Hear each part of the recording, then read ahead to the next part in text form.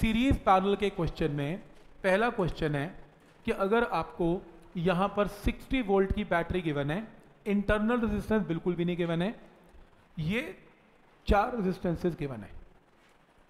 आपको total current बताना है, बैटरी में से कितना निकला।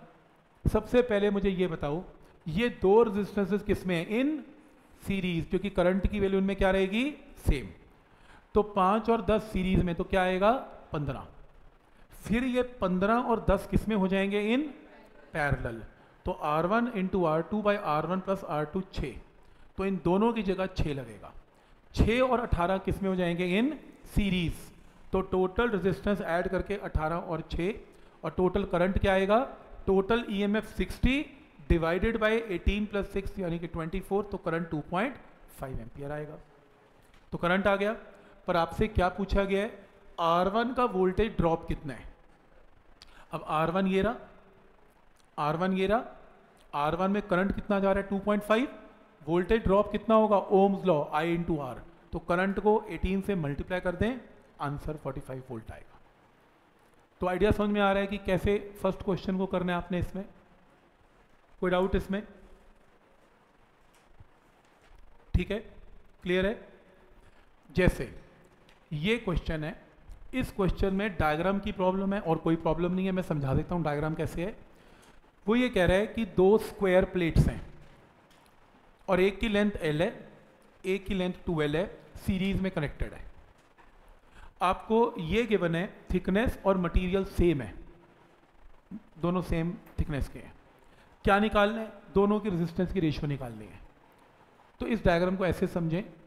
ये डायग्राम ऐसा है। ये स्क्वायर प्लेट है, मान लो, ऐसी दिख रही है। तो इसकी लेंथ क्या है? एल बाई एल लेंथ है स्क्वायर है ये एल बाई एल लेंथ है। इसकी थिकनेस ये है, पीछे से डी मान लो थिकनेस क्या है ये? डी तो देखो करंट ऐसे एंटर करेगा। तो करंट कितने क्रॉस सेक्शन में एंटर कर रहा है? इस इस एरिया में से। और ये एरिया कितना है? ये लंबाई क्या है? एल और थिकनेस क्या है? डी तो एरिया क्या है? एल इंटू टी ये एरिया क्या है? एल इंटू टी करंट कितनी लंबी वायर में जाएगा? एल तो इसके रेजिस्टेंस का फॉर्मूला क्या लगेगा इसका? रेजिस्टेंस होगी रो एल और क्रॉस सेक्शन का एरिया कितना है? एल इंटू टी सही है? फिर दूसरी वायर है। दूसरी वायर निकाल लेंगे तो ऐसी दिखेगी ऐसे ऐसी करंट एंटर करेगा। दूसरी वायर की डायमेंशन है two L into two L दूसरी वायर का एरिया क्या बनेगा? Two L into D cross section two L into D लंबाई क्या होगी? टू एल तो रेजिस्टेंस क्या बनेगी? Rho two L by area की जगह टू एल इंटू डी तो तुम दोनों रेजिस्टेंसेस को डिवाइड करके रेजिस्टेंस की रेशियो निकाल सकते हो आंसर पॉइंट समझ में आ रहा है यहाँ तक कि कैसे सोच रहे हैं इसमें? तो क्रॉस सेक्शन एरिया कौन सा लेना है? जैसे, नहीं स्विच वाला नहीं करेंगे, बाद में एंड में करेंगे. सबसे पहले ये करेंगे यहाँ से शुरू करते हैं. यहाँ से करेंगे, ये वाला क्वेश्चन पहले करेंगे, ये वाला। आपको ए और बी की इक्वलेंट रेजिस्टेंस निकालनी है, क्या होगी? ए और बी की इक्वलेंट रेजिस्टेंस क्या होगी? सबसे पहले इंपॉर्टेंट ये दो वायर्स आपस में इंटरसेक्ट कर रही हैं, ये इसका जंक्शन है। ये जंक्शन है। तो इमेजिन करो कि अगर ये पोटेंशियल VA है, इस वायर के अंदर कुछ भी नहीं लगा हुआ तो ये भी वी है ये भी वी है ये वी बी है तो ये वी बी वी बी है। और मान लो जंक्शन का पोटेंशियल वी नॉट है तो इसमें पोटेंशियल डिफरेंस कितना है? V A minus V naught इसमें कितना है? V A minus V naught तो ये दोनों किसमें कनेक्टेड है? इन पैरेलल क्योंकि पोटेंशियल डिफरेंस की वैल्यू दोनों में एग्जैक्टली exactly सेम है। फिर देखो, ये V B A V naught ये V B A V naught potential difference कितना है? V B minus V naught V B minus V naught तो पोटेंशियल डिफरेंस इनमें भी एक्जैक्टली सेम है तो ये भी किसमें कनेक्टेड है? इन पैरेलल तो डायग्राम क्या बना? ये फोर और फोर को तो मैंने छेड़ा ही नहीं। ये दोनों पैरेलल में फोर और फोर पैरेलल में तो आंसर क्या आएगा? टू फोर और फोर पैरेलल में तो आंसर क्या आएगा? टू टू और टू सीरीज़ में। तो इक्वलेंट डायग्राम क्लियर है? तो इसके अंदर ये दोनों किसमें कनेक्टेड है? सीरीज़ में। तो फोर फोर और फोर किसमें कनेक्टेड है? पैरेलल में, अब तीनों पैरेलल में इक्वलेंट रेजिस्टेंस की वैल्यू आ जाएगी। तो याद रहेगा कॉर्नर वाले दो किसमें है इन? साइड वाले जो इन पैरेलल और आंसर सीरीज़ में. लेकिन एक क्वेश्चन सेम और आएगा, जिसमें वो ऐसे ज्वाइंट नहीं बनाएगा. तो इसका मतलब है एक रेजिस्टेंस है, दूसरी वायर इसके ऊपर से निकल गई बिना टच की ऐसे. ये डायग्राम बन गया. तो अब आप यहाँ कॉमन पोटेंशियल नहीं ले सकते. अब आपको क्या करना है? अब ये वायर देख रहे हो इसमें जो भी करंट होगा वो इसमें भी जाएगा और इसमें जो करंट होगा नीचे से इसमें भी जाएगा। तो ये दोनों किसमें कनेक्टेड है? इन सीरीज़ क्योंकि करंट इनमें क्या रहेगा? सेम और ये भी दो किसमें कनेक्टेड है? इन सीरीज़ फ़र्क हो गया। तो समझ में आ रहा है? ध्यान से देखना है। ये ज्वाइंट है तो पैरल ये ज्वाइंट नहीं है तो ये सीरीज़ और ये सीरीज़ तो दो और दो तो लिख ही लिया। ये दोनों किसमें कनेक्टेड है? सीरीज़ में। तो अगर ये पोटेंशियल वी ए तो ये वी ए वी ए ये V B A V B इनके across potential difference V A minus V B इनके अक्रॉस भी V A minus V B इसका मतलब ये टू और टू सीरीज़ में फोर और ये फोर किसमें कनेक्टेड है? इन पैरेलल क्योंकि पोटेंशियल डिफरेंस कॉर्नर के एग्जैक्टली सेम है। तो इक्वलेंट डायग्राम क्या बनेगा? दो दो तो रख ही लिया। ये दोनों सीरीज़ में ये दोनों सीरीज़ में और आपस में ये दोनों पैरेलल में। तो इसका इक्वलेंट डायग्राम क्या बनेगा? ये रहा टू और टू सीरीज़ में फोर और ये भी four two four four two parallel में। तो दो, चार चार, दो पैरेलल में। आर इक्वलेंट आ गया। क्या सर्किट ब्रेक करना आ रहा है? कैसे करना है? कोई डाउट इसमें? पॉइंट समझ में आ रहा है यहाँ तक? कैसे ब्रेक करेंगे इसे? तो अगर ये ज्वाइंट होगा, ये नहीं होगा, इसका लॉजिक क्या लगेगा? ठीक है, जैसे ये क्वेश्चन है। मेरे को ए और बी के बीच में इक्वलेंट रेजिस्टेंस निकालनी है, फिर मेरे को ए और सी के बीच में इक्वलेंट रेजिस्टेंस निकालनी है।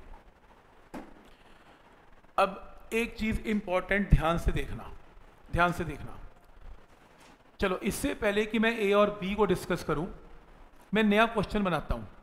मेरे को ए और डी के बीच में इक्वलेंट रेजिस्टेंस निकालनी है सपोज़ इंपॉर्टेंट पॉइंट है इंपॉर्टेंट है मिस नहीं करेंगे। तो इमेजिन करेंगे जस्ट इमेजिन करो कि यहाँ पर एक बैटरी कनेक्टेड है और जिसने करंट भेजा। इमेजिन करो करंट गया। तो करंट यहाँ के डिवाइड हो जाएगा। फिर ये वाला करंट भी आगे आगे डिवाइड हो जाएगा। फिर ये वाला करंट भी आगे आगे डिवाइड हो जाएगा। फिर यहाँ से वापस ऐसे होगा। हर ब्रांच में करंट ही करंट होगा। कोई डाउट इसमें? सही है? करंट ना थोड़ा हमसे ज़्यादा होशियार है। कैसे? करंट ना देख लेता है डेड एंड है, सड़क तो बंद है, जाने का फ़ायदा ही नहीं है। करंट वो रास्ता फॉलो करता है from higher potential to a lower potential तो करंट बंद सड़कों में नहीं जाता। कि पता लगे, यार, वायर तो खत्म ही हो गया, आगे उड़ के थोड़ा जाऊँगा। तो क्या करेगा करंट आगे जाएगा, बैक मारेगा? अच्छा रास्ता नहीं है, वापस गाड़ी थोड़ी ना आगे गई, चलो रिवर्स गए चलो, वापस, कैसे जाएगा? रास्ता उसे मिल नहीं रहा। तो याद रखना, जो वायर हवा में लटकती हैं और सर्किट कंप्लीट नहीं करती, उनमें करंट जाता ही नहीं। वो पहली भाप लेता है कि वो लूज एंड है, उसमें जाना ही नहीं मुझको।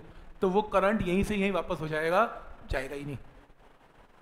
और अगर रेजिस्टेंस में करंट नहीं जाता ना तो कोई भी दुनिया की तार जिसमें करंट नहीं जा सकता ना, वो आपके किसी काम की नहीं है, उसको उठा के बाहर फेंक दो। इलेक्ट्रिसिटी है भाई, तुमने ऐसी वायर का करना गया जो करंट नहीं कंडक्ट करती? उड़ा दो इसे। तो आपका डायग्राम सिर्फ़ इतना बच जाएगा, बस। फिर देखो फिर देखो, कोई बात नहीं। फिर देखो, मेरा क्वेश्चन है, मुझे ए और बी के बीच में निकालना है, ठीक है? ये ए है और एक बी है। ए से लेके इमेजिन करो, हर ब्रांच में करंट जाएगा, लेकिन जो करंट यहाँ जाएगा, वो फंस जाएगा। जो करंट यहाँ जाएगा, वो फंस जाएगा, क्योंकि ए से लेके कहाँ निकलना है उसे? बी तक। तो इन दो वायर को उड़ा दो। चाहिए ही नहीं। तो आपका इक्वलेंट डायग्राम बस ये बनेगा। तो शॉर्टकट समझ में आ रहा है? यहाँ वाली वायर उड़ गई। अब क्वेश्चन सॉल्व हो गया। ये तीनों किसमें कनेक्टेड है? सीरीज़ में। जो आंसर आएगा इसके साथ इन पैरल में। तो ये तीनों सीरीज़ में 30 30 और 10 पैरल में। 30 इंटू दस बाय तीस प्लस दस। और फाइनली ये तीनों के तीनों किसमें इन सीरीज़ में आंसर सही है?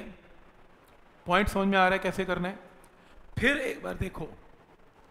इस बार इक्वलेंट डायग्राम आपको ए और सी में बनाना है। ए और सी के बीच में इक्वलेंट रेजिस्टेंस है। अब सब में करंट जाएगा ए से सी पे लैंड करना है करंट को इमेजिन करें। तो जो करंट यहाँ जाएगा, फंस जाएगा डेड एंड है। इसमें भी नहीं जाएगा तो बस इनमें जाएगा। तो देखो इक्वलेंट डायग्राम में क्या किया? बस ए और सी रख लिया, ये वायर का कोई फ़ायदा नहीं इसमें। अब ये दोनों किसमें इन? सीरीज़ 20 ये दोनों किसमें इन? सीरीज़ 20 20 20 किसमें इन? पैरेलल 10 10 10 10 किसमें इन? सीरीज़ आंसर तो समझ में आ रहा है कि ये कॉन्सेप्ट कैसे है? मेन वाले और नीट वाले डाल देते हैं ऐसी वायर वो बच्चा कंफ्यूज हो जाता है क्या करना है उड़ा देना है भाई, उड़ा देना है। बहुत वायर दिखेंगे लूज वायर उड़ा देना होता है। क्लियर है यहाँ तक? जैसे सपोज़ ये क्वेश्चन है। इस क्वेश्चन में वो ये कह रहा है कि करंट बताओ पाँच ओम रेजिस्टेंस में कितना करंट होगा, ये बताओ कितना करंट जाएगा इसमें। बैटरी से जब स्विच ओपन है और जब स्विच क्लोज है। ठीक है, यहाँ तक? तो ये देखना है कि इसमें क्या होगा।